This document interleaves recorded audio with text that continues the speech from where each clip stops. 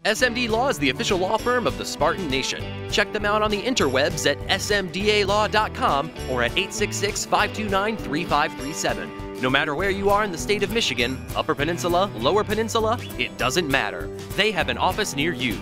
So whether you need to send a letter to an annoying neighbor, or you're a criminal and you need defense, maybe you just have problems with elder law, check them out smdalaw.com today, the official law firm of the Spartan Nation. Call them first then you act. There's been some pressing. No, I, I uh, agree. Uh, it's, you know, it's extremely frustrating. Everyone's out here. You know, we come to work every day in that building. You know, wanting to get points on the board, wanting to improve, figure out what's going on offensively, and you know, it's just little things, uh, inconsistency, unfortunately. Um, not one thing by anybody, and uh, I'm just proud of the way that you know we've we've never come into a game not believing in ourselves. We come in here every you know away or home, just with energy, positivity, ready to go. You know, play the hardest we can, and um, offen- you know offensively, it's just it's you know this game is it's hard to win nowadays. You know what I mean? And obviously our defense has been playing unbelievable, but uh, offensively. Uh, I have you know no no doubt that we're going to continue to work the next month in bowl practice, figure out what we can do better, assess our situation, and uh, you know come you know ready to play a strong bowl game. And then next year, I'm excited for all the guys coming back.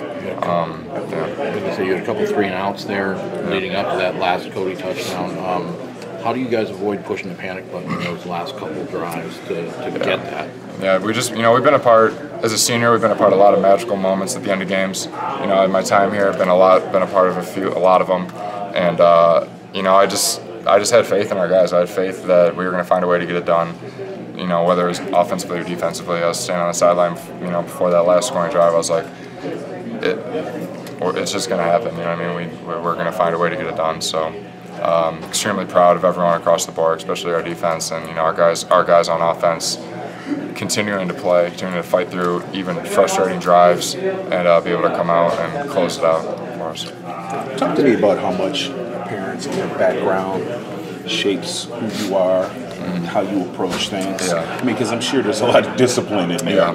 Yeah, yeah. I, uh, yeah, you're good. I uh, can't, you know, express the gratitude I, I have for for the you know the way that I've grown up with my mom and dad and, and my stepmom and um, I think the way that they've raised me just to give you know I've been given such an, a tremendous privilege, such a tremendous opportunity, something that I in high school I dreamed about. Um, growing up, dreamed about playing football at this level. I'm walking out of here now with five years of playing experience, or I'm sorry, four years of playing experience under my belt, uh, two years as a, you know as a starter here, um, and uh, they've just they've taught me, they've instilled in me just to you know be the disciplined in everything you do, and uh, just be a relentless worker. You know, I, I, see that with my dad every single day, um, and uh, I can you know I can walk out of here saying that I've I've given everything. You know what I mean? I've spent hours and hours preparing, trying to become a better player here, doing extra stuff.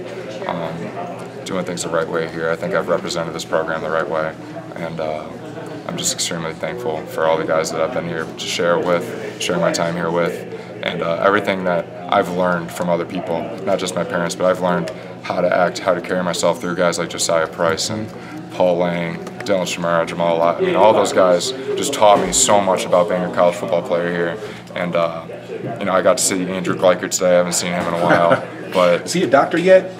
I'm not sure. I know he's in Tennessee, and I uh, know you know, but I'm not sure if he's a doctor yet. But but all those guys just have you know were such great role models for me coming here. I came you know wasn't a crazy Herald recruit or anything. Yeah.